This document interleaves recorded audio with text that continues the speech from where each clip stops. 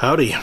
Well, it's happened again. I got on the internet, tried to find some information on a particular thing, got frustrated, so now I'm making a video to tell you what I couldn't find. What I wanted to figure out was how to properly configure my Behringer X32 to be a Mackie controller with as many functions as I could possibly pack into it to make it useful. And I'm going to show you how I set mine up. So here, of course, is my Behringer mixer. If you've watched my previous video, you know what I did so far was I set this section up over here for inputs only. And then my auxiliary sends, or rather returns, are going to be for what's coming out of Cubase.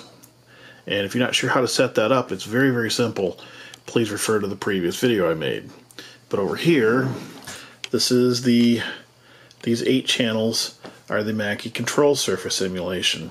And Mackie control only allows for eight channels, so as cool as it would be to use all the 32 channels to mix in Cubase or some other program, it's really not possible because of the Mackie format. All right, so so let's take a look at how I've got Cubase going here. Um, first of all, go to Devices and Device Setup, and you're going to need to add the Mackie controller. The way that's done is, in fact, I don't want to delete this one because I've got the setup, but you go hit the plus sign right here, and then uh, and then when you hit it, it gives you a number of selections, including Mackie controller. Pick Mackie controller. When you do that, you're going to need to assign its MIDI inputs and outputs to the XUF MIDI. Now, I probably didn't make this clear, but I'm doing this on a PC. Um, but you could do the same thing on a Mac. It's the, the the interface looks exactly the same. The things that you set up are exactly the same. Now I'm going to quickly go through what I set up on the function buttons, and then after you've done my setup, why you can customize it to be the way you want it to be, but um, I'm recommending that you at least start here because these are a lot of basic controls that everybody uses over and over again. So, category one, um, your F1 button, I have devices, mixer. If you pick devices, you'll find mixer. It's like this you pick it, you find devices, and then you can only select certain things. In this case, you can select mixer. See how that works? Okay, so going down the list, F2, I have transport panel. F3 I have transport use metronome. F4 I have devices, VST performance, which for me seems to be a constant thing I'm checking. Um, for F5 I have edit, edit channel settings. That's going to bring up this guy. Let me get out of this.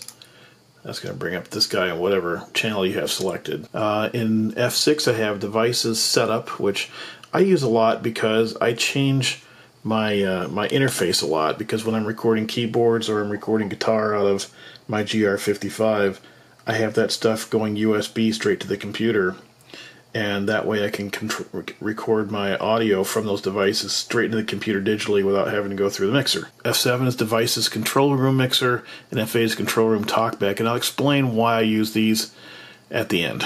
Uh, let's take a look at what I what I've set up here.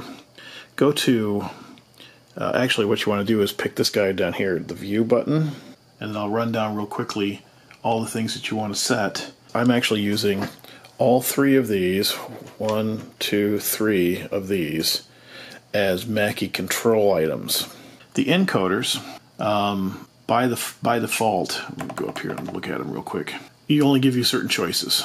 The choices are uh, parameter 1, 2, 3, 4, 5, 6, 7, and jog. And what parameter 1 through 8, I'm sorry, 1 through 8, not 7, 8, what those do is they allow you to use these encoders as your channel pans for either channel 1 through 4 or 5 through 8. I'm setting up each encoder to be 1 through 4, and on page 2, I'm setting them up to be 5 through 8. Uh, and the point of that, and the way you do that up, is up here where you see set A, set B, that's your page 1 and 2. And that way, whenever I have a set of 8 selected here, I'm going to get the pans 1 through 4 and 5 through 8 here for these channels. And when you make these changes here, you'll see them appear here as well as in Cubase. So what I've done is on set A, I'm going to button 5. I have button 5, I'm just going to tell you the rundown real quick. I have button 5 is return to 0, RTZ. Button 6 is record. Button 7 I have is bank left. button 8 bank right, 9 stop, 10 play, 11 rewind, 12 fast forward. Now when I go to page B, it's very, very similar. We Again, I have all my encoders set up to be 5 through 8. And then button 5 is cycle. Button 6 is record again. Button 7 is bank left and right again. The buttons 9 through uh, 12 are exactly the same as they were previously. Stop and play, rewind, and fast forward. And then in section C, I have only the encoder number one on, and that's set to jog, and I've turned, I've disabled all the others. And then the buttons 5 through uh, 12, I have set parameters F1 through F8. Now, those F1 through F8 parameters were the same ones that I set in this screen, going back over to the computer. Mackie control, it's going to be the same as those. Everything that I want now, you can do this and get play as well. Um, if you want to, you can set this to be a replay and stop. But I've assigned them over here so I can just have nothing but channel mutes. And then over here, I have my my uh, go back to this. I have play here. I have stop here, return to zero, play again, and then for each channel, and uh, I'm, I can go bank, bank, bank, bank. And every time I do that, okay, let's see, here's my first bank.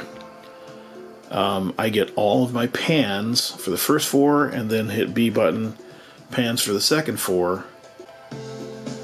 You know, right, right at, where I need them. So I've got all eight channels here, and all eight pans right here. I still have all my transport controls for the most part. The only thing that's different between my first section and my second section is I have a cycle button which I can turn off and on, where return to zero would be. So lastly, what you want to know is what I have here. Okay, so let's go through them real quickly. When I hit that, I get a full screen mixer. Uh, my button 6 is my transport bar my button 7. if you look down the bottom of the screen, you'll see the metronomes. Uh, oops, get there. Now the metronome is coming on and off. And I didn't see it before, sorry about that. Okay, my next button is my VST performance button. And then we get to F5, which is that guy brings that up and down for the selected channel. And by the way, you can select a channel here. And as I do that, you'll see my channel EQ, you know, my channels change. Okay, so turn that off. Next we have my device setup, and as I mentioned to you, I go here quite often uh, to change which audio interface I'm using. And then lastly, the last two I have control room and talkback on and off set because I use VST Connect quite often. If you don't use VST Connect at all, or you don't use the control room with the talkback, these are completely useless.